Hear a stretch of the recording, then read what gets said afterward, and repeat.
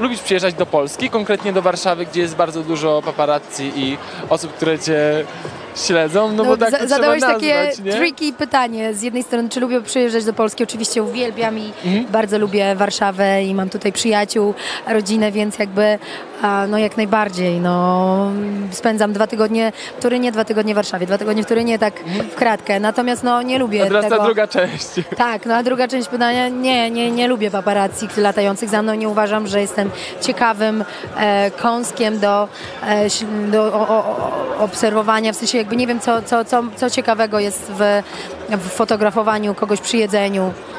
Mm, Albo wychodząc z samochodu, nie wiem, tam wymyślają jakieś, no po prostu wiadomo, szukanie sensacji, e, za przeproszeniem z dupy, po prostu byleby e, było co napisać ciekawego, a nie ma nic, więc jakby wymyślają. No. A ty czujesz to, jak oni za tobą jadą?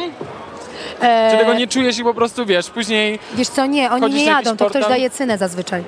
Bo e, ja często jeżdżę taksówkami właśnie po to, żeby Mhm. za mną nie jechali, bo mam też specyficzne auto i wtedy jak wyjeżdżam tym autem, jakby zdaję sobie sprawę, że okej, gdzieś mogę kogoś na ogon zahaczyć.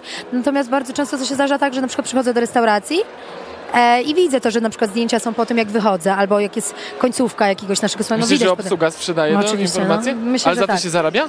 Za tym się zarabia? Nie wiem, powiem szczerze, nigdy nie dawałam cyny. Ja też jeszcze nie ale dałem. szczerze, a co? Chcesz? Chcesz Nie, sobie tak. nie. Ja tylko, no nie, no myślę, że, Nie mam że numeru. coś, coś musi w tym być, po co oni to robią. No. Myślę, że mogą się jakoś dzielić, no czymś, nie wiem.